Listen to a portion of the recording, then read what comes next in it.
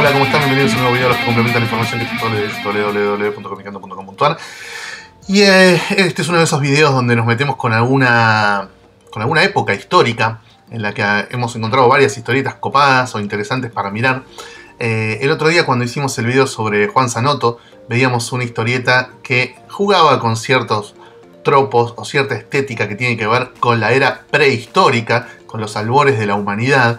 Eh, y veíamos como eh, los guionistas que lo acompañaban a Sanoto, en este caso creo que era Alfredo Grassi, si no me equivoco, hacían trampa y metían en un contexto de eh, tribus cavernícolas a, bueno, elementos de ciencia ficción, tecnología, armas, viajes en el tiempo y cosas así.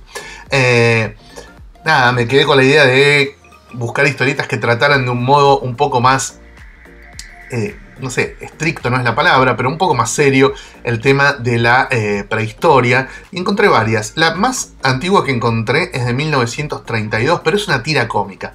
Es una historieta cómica que se llama Ali Up, creada por un señor que se llama V.T. Hamlin. Firmada con las iniciales B corta T. Hamlin.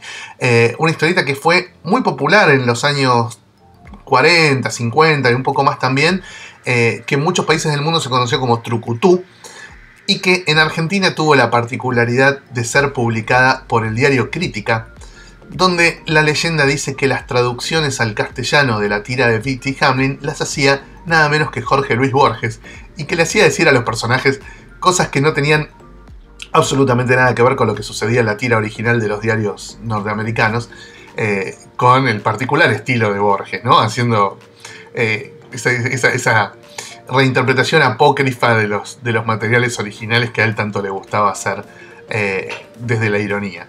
Así que esa es una historieta que duró muchos años en los diarios norteamericanos. Tuvo una muy breve adaptación al dibujo animado dentro de, un show de Archie. Eh, Fabulous Funnies se llamaba, donde Archie presentaba, Archie y sus amigos, presentaban cortitos basados en distintas tiras diarias. Eh, bueno, y fue una tira en su momento bastante popular. En los años 50 a mediados de los 50 aparece esto. Una revista de los años 50 posta, esta me la prestó mi amigo Marcelo Grosso. Eh, el maestro Joe Kubert en la editorial Saint John, que era la que había fundado con su socio Norman Maurer, eh, presenta a Thor, que es un cavernícola en la época de los dinosaurios, ¿no? Medio contradictorio porque los humanos y los dinosaurios no, no, no convivieron nunca. Pero bueno, esta tenía información sobre los bichos, sobre la forma de vida de, la época de los, de los cavernícolas y por supuesto unos dibujos hermosos del glorioso viejito Joe, eh, que después retomó a Thor varias veces más en los años 70 en DC, cuando se puso de moda Conan en Marvel, DC dijo, vamos, tratemos de sacar cosas parecidas, y apareció, entre otras cosas, Thor, de nuevo con eh, Joe Kubert en un gran nivel, y después la siguió incluso en Marvel, en Epic, en los años 90, porque él retuvo los derechos del personaje, nunca se los cedió a nadie. Eh, nada, es una de aventuras donde no es todo estricto, pues ya te digo, hay dinosaurios y humanos al mismo tiempo, que es algo que no me cierra mucho. Eh, uno que le hizo muy bien, que no metió dinosaurios ni nada, que no existiera en la prehistoria, pero se la tomó para el lado del humor, fue Johnny Hart, con su historieta BC. BC quiere decir Before Christ, o sea, antes de Cristo. Eh, es una tira cómica que empezó en el año 1958 en los diarios de Estados Unidos y duró muchísimos años. Eh, muy graciosa, muy inteligente, muy reflexiva. No es nada más el chiste, sino que también Johnny Hart juega a dejarte pensando. Así, che, pero pará, está muy muy bien esa tira. Se puede leer aún hoy y no está desactualizada en lo más mínimo. Eh, otro experimento bastante acertado fue el de Antro, en DC Comics a fines de los 60. Esto lo creó un dibujante que se llama Howie Post, que en aquella época era bastante conocido y hoy está muy olvidado.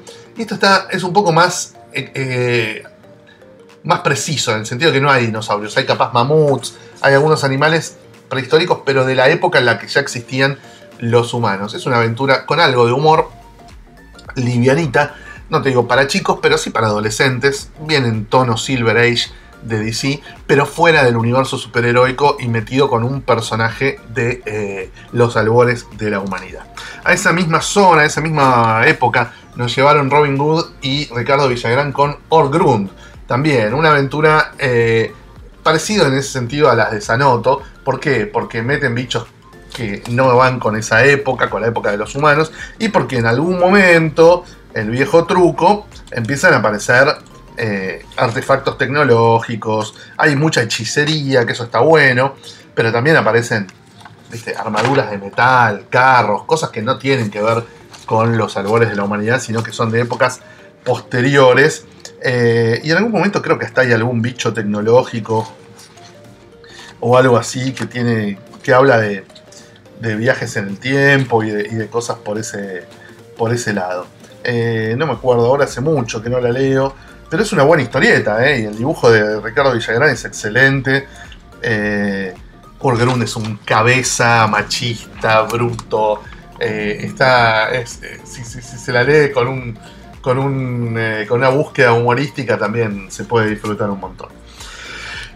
Pero me voy a concentrar en tres historietas que se llevan dos años entre sí la primera que me voló la cabeza, que digo, esto es, esta es una excelente historieta de los, de los tiempos prehistóricos y de los árboles de la humanidad, L'Age de Razón, la era de la razón, del maestro Mathieu Bonhomme, que ahora está bastante de moda por sus versiones de Lucky Luke y demás. En el año 2002 el tipo sacó este libro con historias cortas ambientadas en los albores de la humanidad, siempre con el mismo protagonista, pero bueno, van viviendo distintas historias y es totalmente realista en ese sentido. Los personajes no hablan, tienen un lenguaje gutural, eh, los, peligros con los que se enfrentan son eh, históricamente eh, correctos. Esto es buenísimo, es muy divertido, muy profundo, muy bien dibujado, lo recomiendo horriblemente. No tiene edición en castellano, pero como es mudo, se puede leer la edición en francés y la consiguen en alguna. Dos años después salió El Otro, de Ángel Mosquito, que originalmente había salido en un formato chiquitito, ahora se reeditó por suerte en un formato más grande, más lindo, eh, también es una historia muda y también es correcta en la ambientación histórica. Esta es una tribu de los albores de la humanidad, acá no hay dinosaurios, no hay un carajo. Hay cacería, sí, claro, hay machismo, obviamente, pero no hay boludeces así de, mezclar cualquier cosa. Muy buena historieta, muda. Eh, y la otra es el Valle de las Maravillas o Le Valle de Merville de Joan Sfar del año 2006, o sea, dos años después del de Mosquito, que ese sí, ya es un quilombo, ya hay dragones, ya no ni dinosaurios. no la tengo a mano, ¿eh? lamentablemente esa es la ley de prestado. Eh, en algún momento la conseguiré. Es un libro grosso, son como 80 páginas, muy divertido, el dibujo es excelente, pero Sfar se caga en todo, mete dragones, ya no dinosaurios. Eh, y nada, le sale una, aventura muy copada, también con bastante reflexión, también con bastante introspección. Pero los personajes hablan como, como en la época actual, No, no, tiene esa, esa, exactitud histórica que le pedimos a algunas historietas. Pero bueno, nada, si les gusta el tema de los hombres primerizos, primigenios, de las los primeros años de la, raza humana sobre la faz de la Tierra, cuando casi éramos todavía simios. Eh, ahí hay varias historietas que les pueden llegar a interesar eh, y vamos a seguir descubriendo muchas más en un futuro video que prometo para muy pronto. Chao, gracias.